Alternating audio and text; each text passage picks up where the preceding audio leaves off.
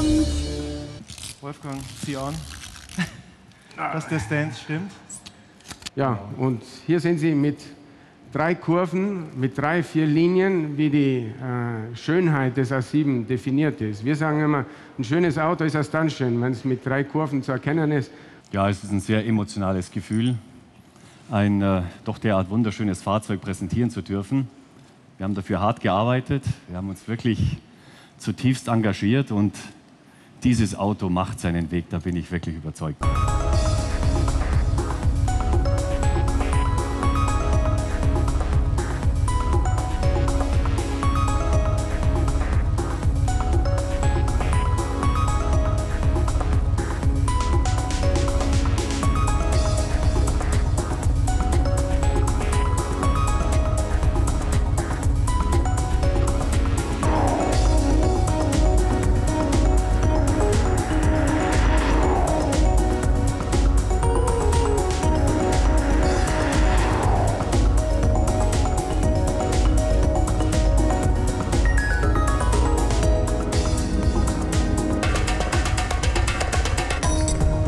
Schönen guten Abend zur Weltpremiere des Audi A7 Sportback.